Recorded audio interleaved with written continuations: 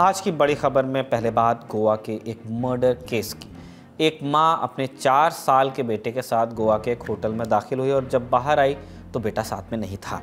माँ ने होटल के कमरे में अपने ही बेटे की हत्या कर दी और फिर उसकी लाश लेकर अपने शहर बेंगलोर जा रही थी। तभी उसे पुलिस ने पकड़ लिया और फिर सामने आई हत्या की खौफनाक कहानी।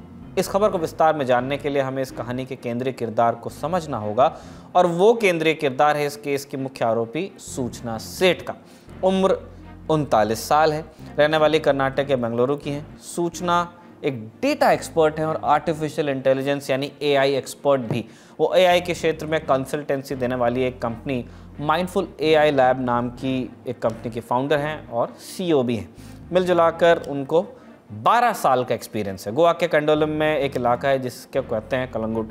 बड़े सुंदर बीचेस हैं यहाँ। बहुत पॉपुलर है, बहुत सारे लोग जाते भी हैं। यहाँ एक होटल है और यहाँ 6 जनवरी के दिन सूचना अपने चार साल के बेटे के साथ आई। होटल में उन्होंने चेक इन किया और कमरे में चली गई।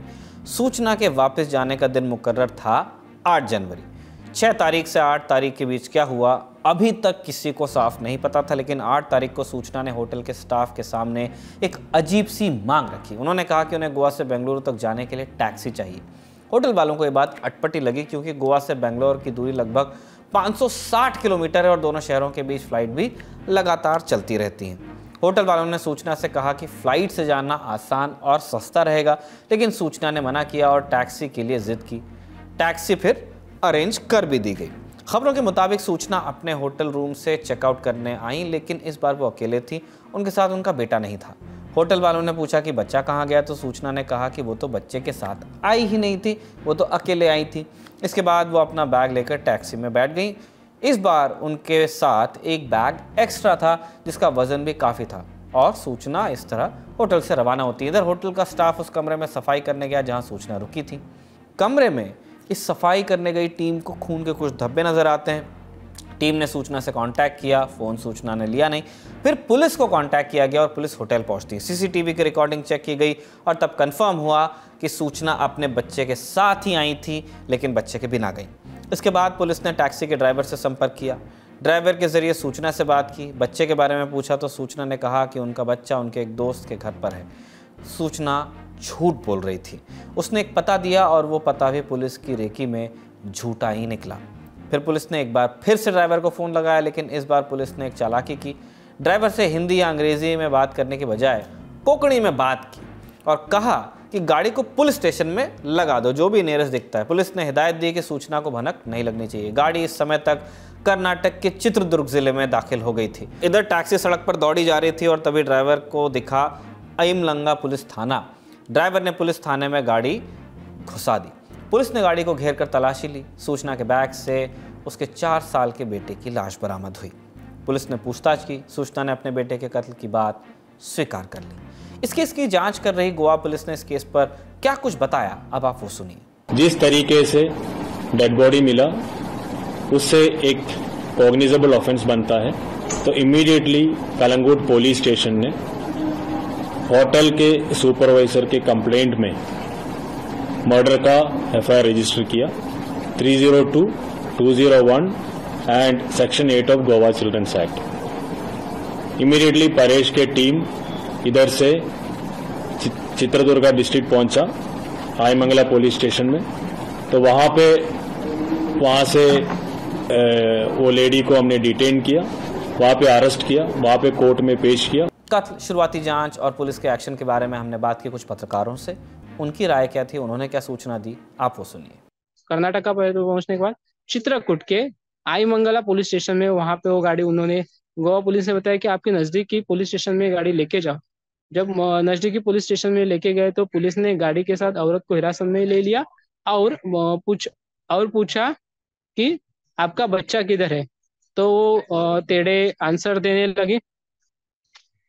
तब, जब पुलिस ने उसे हिरासत में लिया तो डिक्की खोल के देखा तो डिक्की खोलने के बाद उनके जो बच्चे का जो डेथ बॉडी थी, वो मिली तो बाद में पुलिस ने उसको हिरासत में ले लिया। अब गोवा पुलिस की एक टीम कल दोपहर को यहाँ से निकल गई थी। एक अपराध की आहट हुई, पुलिस को सूचना दी गई, आरोपी को पकड़ भी लिया गया। लेकिन इस पूरी क्राइम स्टोरी में एक एंगल अभी तक मिसिंग था, क्राइम का मोटिव। कोई भी अपराध किया जाता है तो अमूमन उसके पीछे कोई वजह होती है। इस केस में तो वजह की और दरकार थी क्योंकि एक माँ ने अपने अबोध बेटे का कथित तौर पर कत्ल कर दिया और वजह सामने आई सूचना का डाइवोर्स केस खबरों के मुताबिक सूचना ने साल 2019 में अपने बेटे को जन्म दिया। अगले ही साल, यानी 2020 में, सूचना और उनके पति के बीच विवाद शुरू हो गया। दोनों ने कुछ ही दिनों में एक दूसरे से तलाक भी ले लिया, लेकिन तलाक में कोर्ट ने पिता को विजिटेशन राइट्स दिए। यानी हफ़्ते में एक दिन पिता अपने बेटे से मिल सकता था। खबरें बताती हैं कि सूचना इस कंडीशन से खुश नहीं थी, इसलिए वो अपने बेटे के साथ गोवा चली आई थी। इसके बाद आई जानकारियाँ और खौफनाक हैं। पत्रकार बताते हैं कि सूचना ने सोचा कि इसके पहले उसका एक्स हस्बैंड अपने बेटे से मिले, वो बेटे को ही ख़त्म कर देगी। और अंततः सूचना ने ऐसा किया भी।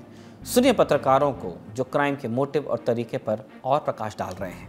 डीजीपी गोवा ने यही बताया है कि डीजीपी गोवा ने कहा, देखिए हीनियस क्राइम तो है, लेकिन ये एक मतलब ह्यूमन डिजास्टर भी है। देखिए शिक्षित है। ऐसा नहीं कि अशिक्षित महिला है पढ़ी लिखी महिला है आर्टिफिशियल इंटेलिजेंस में अच्छी खासी आ, मतलब हैसियत है टॉप हंड्रेड महिलाओं में अच्छा रसूख है।